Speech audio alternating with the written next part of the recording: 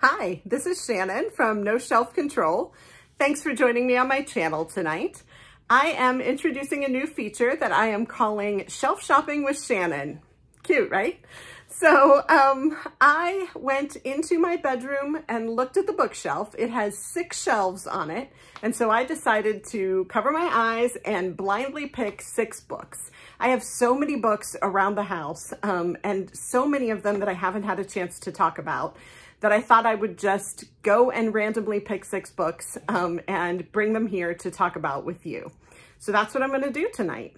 Um, let's get started. The first one that I want to talk about is The Many Daughters of Afong Moy by Jamie Ford. Now, Jamie Ford is the author of The Hotel on the Corner of Bitter and Sweet. I haven't read that one, but I've heard many good things about it, and it leaves me very intrigued by picking up this one.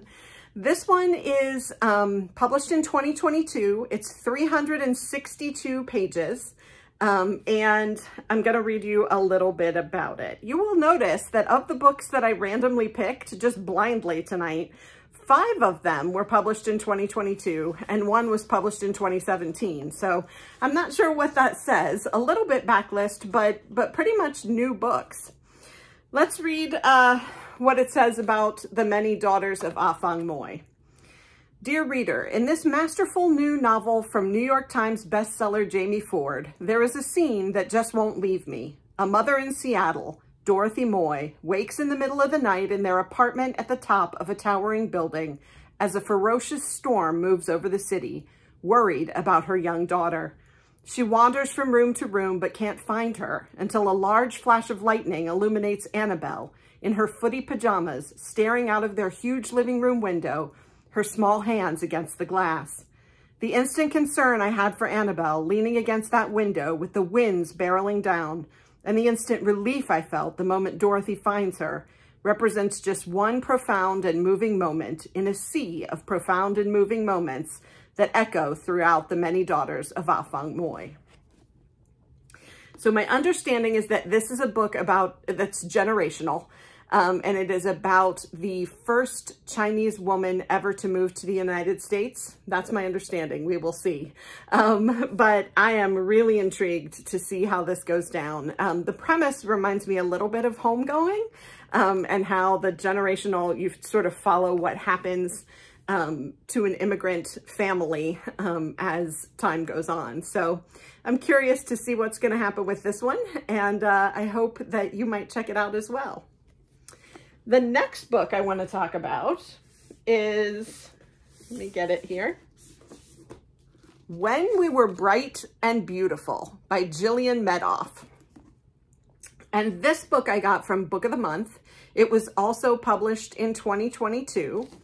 It is about 300 pages.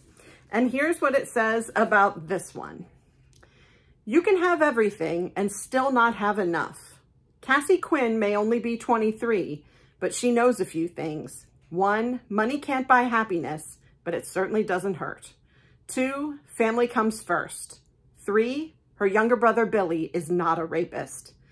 When Billy, a junior at Princeton, is arrested for assaulting his on-again, off-again girlfriend, Cassie races home to Manhattan to join forces with her parents and older brother. While certain of his innocence, the Quinns know that Billy fits the all too familiar sex offender profile, white, athletic, and privileged, that makes headlines and sways juries. So as the clock ticks and the law closes in, the family scrambles to hire the best defense money can buy. Ooh, that sounds really good. So this is a Me Too movement kind of um, topical book uh, by Jillian Medoff really interested in getting into this one. This was one of the books of the month from August of 2022.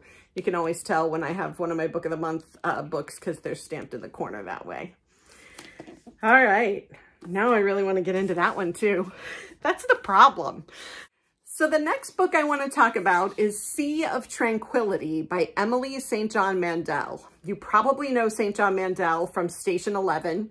You may have also read The Glass Hotel. Um, I also saw the show, I think it was HBO, maybe Netflix, um, that did Station 11 as a series. It was really good. It wasn't necessarily true to Station 11, the book, Um, but it was also really good. My son and I really enjoyed it. Um, and he also read Station 11. So um, I think uh, Emily St. John Mandel, at least from what I know of her writing, is also appropriate for YA reading. Let me tell you a little bit about this one. So also published in 2022, as I said, all but one of these books, actually the last one, were published in 2022. This one is about 255 pages. And here's what it says. The award-winning best-selling author of Station 11 and The Glass Hotel, that's what I said, returns with a novel of art, time, love, and plague that takes the reader from Vancouver Island in 1912 to a dark colony on the moon nearly 500 years later, unfurling a story of humanity across centuries and space. Edwin St. Andrew is 18 years old when he crosses the Atlantic by steamship, exiled from polite English society following an ill-conceived diatribe at a dinner party. He enters the forest, spellbound by the beauty of the Canadian wilderness, and suddenly hears the notes of a violin echoing in an airship terminal, an experience that shocks him to the core. Two centuries later, a famous writer named Olive Llewellyn is on a book tour. She's traveling all over Earth, but her home is the second moon colony, a place of white stone, spired towers, and artificial beauty. Within the text of Olive's best-selling pandemic novel lies a strange passage. A man plays his violin for spare change in the echoing corridor of an airship terminal as the trees of a forest rise around him. Gaspery Roberts, a hotel detective in the black-skied night city, is hired to investigate an anomaly in the North American wilderness. He uncovers a series of lives upended, the exiled son of an earl driven to madness, a writer trapped far from home as a pandemic ravages Earth, and a childhood friend from the Night City who, like Gaspery himself, has glimpsed the chance to do something extraordinary that will disrupt the timeline of the universe. A virtuoso performance that is as human and tender as it is intellectually playful, Sea of Tranquility is a novel of time travel and metaphysics that precisely captures the reality of our current moment. Now, a sea of time, or a novel about time travel and metaphysics is not exactly what I would have told you that I wanted to read, but I trust Emily St. John Mandel. Um, I Station 11 was a little out there, um, but I really enjoyed it. And so I'm absolutely willing to give this one a try, and I hope you will too. Okay, next book. This next one is called Memphis by Tara Stringfellow. I love this cover. Um, this one I received from Roxane Gay's book club. Um, it's called Audacious. You'll see the little sticker right there, Audacious from Roxane Gay's book club. This is by Tara Stringfellow. It is about 250 pages. Again, published in 2022. That's the theme this evening. And let me tell you a little bit about it. The Things Women Do for the Sake of Their Daughters. Summer 1995. 10-year-old Joan, her mother, and her younger sister flee her father's explosive temper and seek refuge at her mother's ancestral home in Memphis.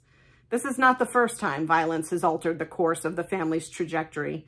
Half a century earlier, Joan's grandfather built this majestic house in the historic black neighborhood of Douglass, only to be lynched days after becoming the first black homicide detective in the city. Joan tries to settle into her new life, but family secrets cast a longer shadow than any of them expected. As she grows up, Joan finds relief in her artwork, painting portraits of the community in Memphis. One of her subjects is her enigmatic neighbor, Miss Dawn, who claims to know something about curses and whose stories about the past help Joan see how her passion, imagination, and relentless hope are, in fact, the continuation of a long matrilineal tradition. Joan begins to understand that her mother, her mother's mother, and the mothers before them persevered, made impossible choices, and put their dreams on hold so that her life would not have to be defined by loss and anger, that the sole instrument she needs for healing is her paintbrush. Very interesting. Love a good matrilineal saga. And you can see some of the characters here on the cover. Very interested in that. Uh, it is actually blurbed by Jacqueline Woodson, who says, written with the grace of a poet, Memphis is as hopeful as it is heartbreaking. I fell in love with this family, from Joan's fierce heart to her grandmother Hazel's determined resilience.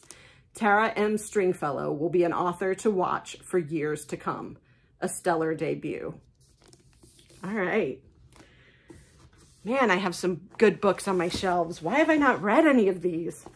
Okay, the next one is called In the Shadow of the Mountain. And the subtitle is A Memoir of Courage.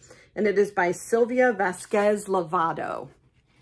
And this one is about 300 pages. I like the cover. I like the knot. I wonder what it's going to signify.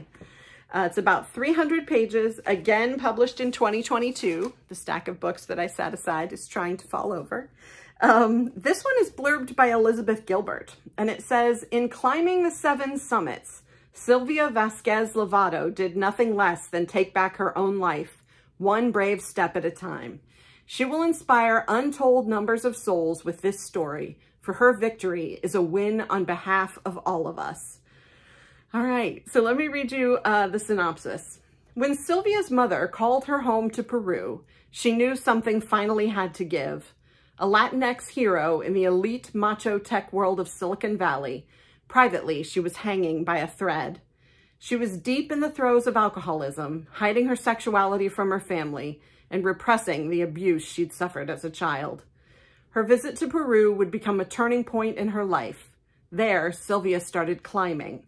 Something about the brute force required for the ascent, the restricted oxygen at altitude, the vast expanse of emptiness around her, the risk and spirit and sheer size of the mountains, the nearness of death, woke her up from a destructive cycle of self-medicating behavior. And then she took her biggest pain to the biggest mountain, Everest. The mother of the world, as it's known in Nepal, allows few to reach her summit, but Silvia didn't go alone. She gathered a group of young female survivors of sexual abuse and led them to base camp alongside her, their strength and community propelling her forward. So I guess we can see why Elizabeth Gilbert blurbed this one. It's a book about climbing. Wow, and I guess it's a uh, true story. This one is actually also blurbed by Eve Ensler, who says, Silvia Vasquez Lavado's story gripped my heart. What a beautiful and urgent offering and it is also blurbed by Selena Gomez. Silvia Vasquez Lavado is a warrior. This book is a testament to the power of extraordinary vulnerability, empathy, and selflessness, and a reaffirmation of the healing that comes from building a community. I'm in awe of her strength and courage, which she has captured so beautifully in this memoir. So a lot of uh, big hype. How did I miss this one? It's been on my shelves all this time. Okay, and the last one I have for you. This one I actually got um, at an author signing. So I went and heard her talk about her newest book. This is Fiona Davis, and the book is The Dollhouse. And this one is about, this is a small book, but it's about 330 pages. I don't know if you can tell, but it's about three quarters the size of a regular book. So I'm sure this is a fast read. Everything else that I've ever read by Fiona Davis was a quick read, very educational. She always picks a location or a point in time in history and then builds a story around it, usually in New York City. Um, and this one, I believe, well, we'll see when we read the synopsis, but um, I think I know what this book is about. I think I heard her talk about it. So this one, um, the Associated Press says, The Dollhouse is a thrilling peek through a window into another world, one that readers will savor for a long time. So here's the synopsis. Fiona Davis's stunning debut novel pulls readers into the lush world of New York City's glamorous Barbizon Hotel for Women, where in the 1950s, a generation of aspiring models, secretaries, and editors lived side by side while attempting to claw their way to fairy tale success, and where a present-day journalist becomes consumed with uncovering a dark secret buried deep within the Barbizon's glitzy past. When she arrives at the famed Barbizon Hotel in 1952, secretarial school enrollment in hand, Darby McLaughlin is everything her modeling agency hallmates aren't. Plain, self-conscious, homesick, and utterly convinced she doesn't belong. Yet when Darby, but yet when Darby befriends Esme, a Barbizon maid, she's introduced to an entirely new side of New York City, seedy jazz clubs where the music is as addictive as the heroin that's used there, the startling sounds of bebop, and even the possibility of romance. More than a half a century later, the Barbizon's gone condo, and most of its long-ago guests are forgotten. But rumors of Darby's involvement in a deadly skirmish with a hotel maid back in 1952 haunt the halls of the building as surely as the melancholy music that floats from the elderly woman's rent-controlled apartment. It's a combination too intoxicating for journalist Rose Lewin, Darby's upstairs neighbor, to resist not to mention the perfect distraction from her own imploding personal life. Yet as Rose's obsession deepens, the ethics of her investigation become increasingly murky, and neither woman will remain unchanged when the shocking truth is finally revealed. So that's The Dollhouse by Fiona Davis. People magazine said, rich both in twists and period detail, this tale of big city ambition is impossible to put down. So I think that one would be a fun, quick read that would also sort of immerse you in uh, the 1950s New York City, which I love. So those are the six books on uh, Shelf Shopping with Shannon tonight. Um, you got to see some of the books that are hanging out on my shelves waiting to be read. I hope that you will love one of them and decide to grab it. Um, please smash the subscribe button for me so that I can continue to make these videos and come back and talk to you about all of the books that come across my path, the things that I read and love, the things that I read and don't love. um, and we can continue to have conversation about books. So thanks for joining me tonight. I hope to talk to you again soon. Bye.